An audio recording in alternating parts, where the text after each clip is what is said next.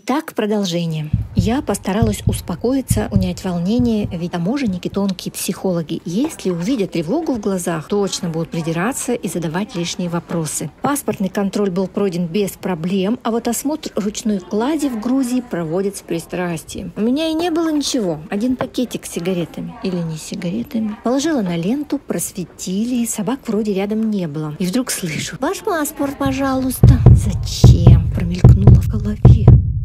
Оказывается, в месяц можно провозить только один блок сигарет. Если, например, я уже была в этом месяце в Турции и покупала сигареты, то все, изымут, наверное. Или штраф. Уф. Дальше нашла на выходе жену сына Пончика, Манану. Она, как в шпионском фильме, взяла пакет, не глядя, без эмоций, и еле слышно шепнула «Спасибо». И все. И ради этого я тряслась. Ладно, получила урок. Больше ни у кого ничего не беру, как бы не было жалко людей. Пока ждала Шахина с машиной, зашла в туалет и тут же ощутила суровую реальность. Это уже не Турция с ее комфортом, чистыми туалетами, мылом и автоматическими кранами. Добро пожаловать в Советский Союз называется. Все сломано, но хотя бы пахнет еще не слишком плохо. Знаю, бывает хуже. Ждать пришлось совсем недолго. Здесь же у границы мы сразу купили страховку. Без нее по Грузии передвигаться никак нельзя. Стоимость на 15 дней 50 лари или 500 турецких лир, на месяц 70 75 лари мы купили сразу на месяц, так как планировали уложиться в этот срок и на обратный путь не покупать страховку снова. Тем временем солнце садилось с восхитительной красотой. Грузия встречала нас многообещающим розовым закатом. Пансион, который мы забронировали заранее, находился буквально в 15 минутах езды от границы. Чистый, уютный, хозяйка прекрасно говорит по-русски, а муж понимает и русский, и турецкий. Утром проснулись под шум прибоя. Окна выходили прямо на море. Доброе утро, Грузия!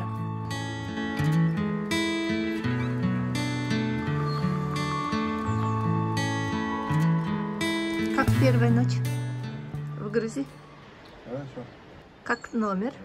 Номер не люкс, конечно, но постель мягкая, кондиционер исправный, вода горячая есть с отличным напором. Что главное, помыться и выспаться. В общем, мне понравилось. Сейчас чай попьем и едем дальше. Батуми. И все вокруг непривычно взгляду. Дорога совсем другая. Надписи на грузинском. Женщины грузинские. Коровы грузинские. Наглые причем. Стоят прямо на дороге. Хотя скажу, что у границы все еще витает турецкий дух. Смотрите, ресторан Измир. И вообще много надписей на турецком. Батум burası. Батум. Это Батум уже? Конечно. А от границы до Батуми ехать совсем недалеко. Раз, и мы уже в Батуми. Живет Грузия бедно, бедненько. Первое, что бросается в глаза – наследие советских времен. Я как будто очутилась в России 90-х. Облупленные хрущевки, сталинки, брежневки. Еще более убогий вид им придает развешенное повсюду белье. Может, это только на окраине, на подъезде к городу? Но позже оказалось, что нет.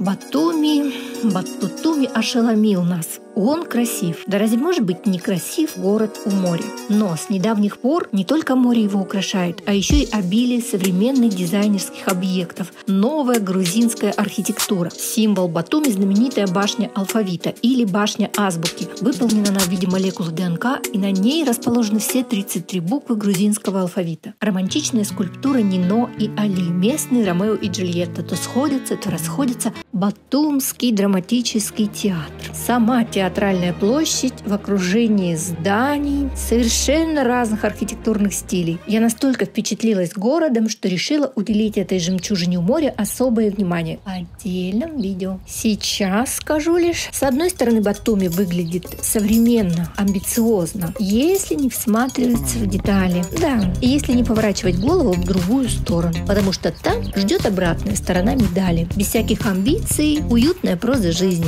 чистое белье на балконах, как в старых фильмах про грузинские дворики. В общем, про Батуми смотрите в отдельном видео. А мы едем к границе с Россией по направлению к Степан-Сминди, а дальше к Верхнему Ларсу. По дороге, не знаю почему, мне бросаются в глаза крыши. Я уже привыкла к турецким, ярким, черепичным, добротным. А здесь крыши покрыты в основном шифером или железом, причем иногда ржавым. От грузинских коров мы просто в шоке. Они такие смешные. Прячутся под мостами от солнца. Вообще очень любят гулять по дороге. Может быть, здесь трава вкуснее на обочинах. Никто их не прогоняет, не гоняет. Я поняла, что они здесь, как в Индии, священные животные, неприкасаемые. Попадались нам на всем пути. И на всем пути по дороге стоят э, знаки «Осторожно, коровы».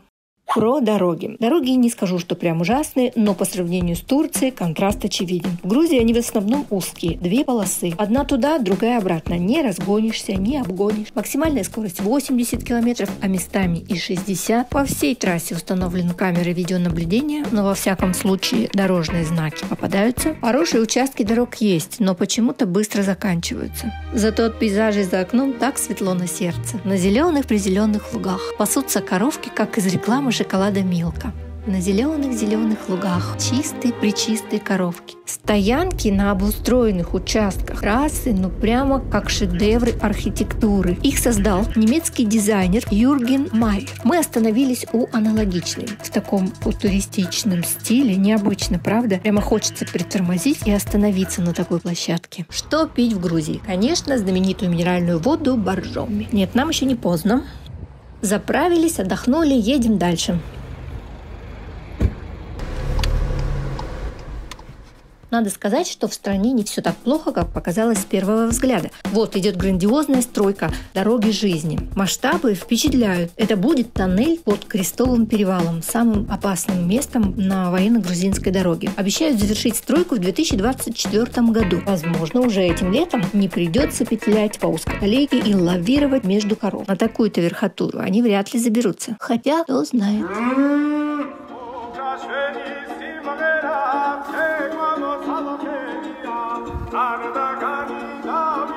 Что-то красивое, невероятно бирюзовое приближается к нам. Невозможно не остановиться. В точке, где открывается обалденный вид на озеро, организована торговля и установлены сердца для фотосессий.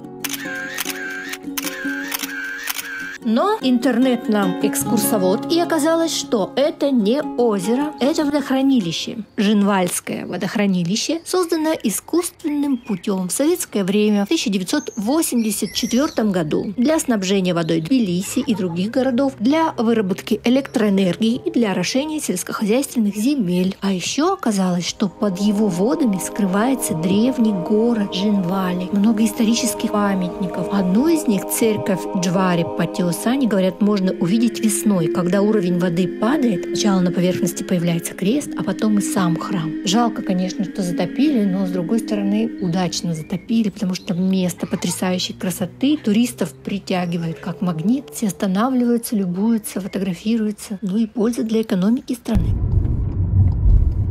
Буквально рядом с водохранилищем еще одно интересное место. Я подумала, что это старинный замок. Да, мы остановились, сейчас пойдем посмотрим. Естественно, открыв Google, мы поняли, что это не замок, это крепость. Ананури. Построена она была в 16 веке для обороны Закавказья. Оказывается, здесь небольшая река Ведзатхеви впадает в Арагми. И вот в этом устье решено было соорудить крепость. И все здесь говорит об этом. Характерное отверстие для оружий, лестницы, чтобы подниматься на стену. Вообще здесь нет никаких заграждений, можно везде полазить, посмотреть.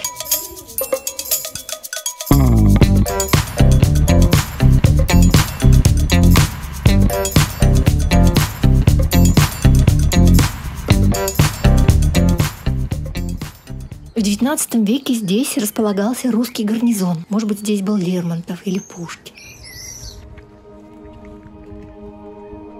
Внутри крепости в 1689 году был построен храм Успения. Он действующий, туда можно войти. Кто не смотрит косо, не запрещает. Я люблю такие старинные места.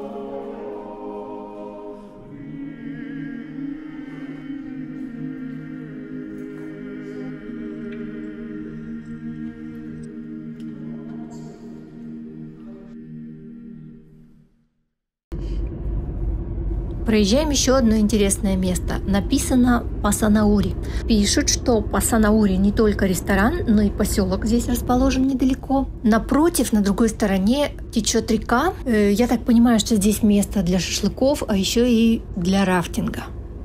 Чем ближе к Крестовому перевалу, тем дорога уже и опасней. На отдельных участках у меня прям сердце замирало. Машины разъезжались кое-как, ну прям близко-близко. Стояли мы зажаты между огромными фурами, слева пропасть, причем заграждение очень хлипкие. Справа отвесная скала. А в такой ситуации прям вообще только вот коров здесь не хватает для полного счастья. Вообще участок опасный, узкий. Пункт питания, мне кажется, здесь вообще не к месту. Ну, посмотрим на обратной дороге. Может, вид тут красивый. Скорее всего, деревня рядом, раз коровы шли.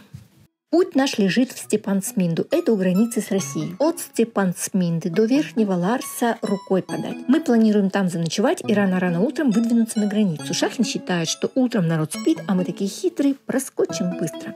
Дорога все выше и выше. Уже невозможно, кажется, но вот опять виток, и мы еще выше. Рядом находится поселок Гудаури. Сейчас это известный горнолыжный курорт. Очень много кемпингов, отелей. Вообще военно-грузинская дорога построена в начале 19 века, 1801 1863 годы строительства. Крестовый перевал – самый опасный участок военно-грузинской дороги. Его высота 2379 метров. Невероятно высоко. У меня уже и так дух захватывает, и эти бесконечные трейлеры невозможно. Невозможно отвесная скала. Разве там можно проехать? Вы знаете, дорога просто вся в ямах, в лужах – Сверху что-то капает. В каком году все это было построено? И каким-то чудом еще не развалилось. Машины едут буквально на ощупь, чувствуя аккуратно каждую ямочку. А близко с фурой так вообще замирают, не дыша. Одно неосторожное движение, и все, не миновать беды. Знаете, я считаю, что все водилы, которые прошли эту дорогу, герои. Честное слово, герои. Мне правда страшно. Уф, опасный участок пройден, и я могу сказать, что это не только самое страшное, но и самая красивая дорога, по которой мне когда-либо приходилось ездить.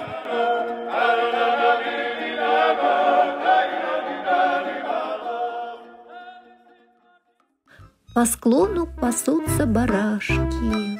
Огромное стадо, такие милые издалека. И такие тупые вблизи. Господи, путь нас угораздило. Сейчас будем ждать, когда все это стадо дорогу перейдет. Ведь ломятся скорее-скорее, как будто опаздывают куда-то. Чабан тоже нашел время, когда через дорогу их переводить. Самый час пик. Одно слово – овцы.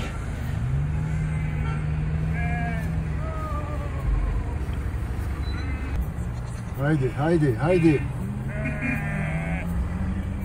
Нет, она пролезла все равно. Сыра.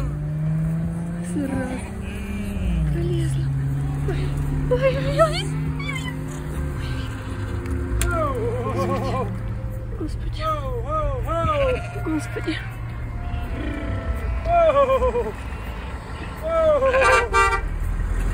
Чудом, чудом прошли линию фронта.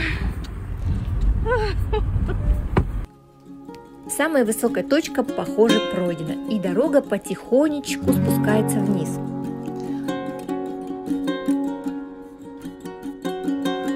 Степансминда – интересное местечко. Туристов море. Видимо, есть на что посмотреть. Народ вот развлекается. А наверху я видела монастырь и снежная вершина Казбека. А мы ведь даже не емши. Встретился нам этот ресторан 5047 метров. Кажется, это высота Казбека. Ну и ресторан не даст умереть нам с голоду. Народу мало, и нас предупредили, что закрываются уже через час. Такие голодные, что я уже... Мы все съели. Все хинкали съели. Вот одна только хинкаленька осталась.